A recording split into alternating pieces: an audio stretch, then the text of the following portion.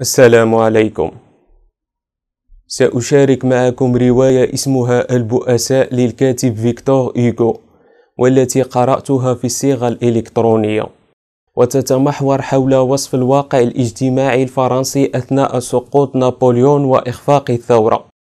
ويركز الكاتب على أحداث سلوكية ونفسية بائسة لسجين سابق قضى عدة سنوات ظلما.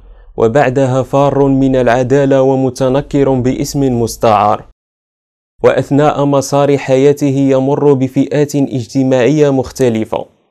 منها الطيب والفاسد ذو الطباع القميئة ووصف الأماكن الراقية النظيفة وأخرى قذرة. وهذا السجين تعاهده نفسه على ما تعود من خبث ومكر. بالإساءة لمن أحسن إليه. بسرقته.